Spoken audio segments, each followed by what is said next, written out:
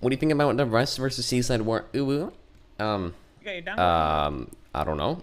Oh, Okay, look, plates. Uh, it's not my problem, and uh, good for them because uh, at the end of the day, as long as they're having fun, they're having fun. You know. Me forever. Oh, oh, oh.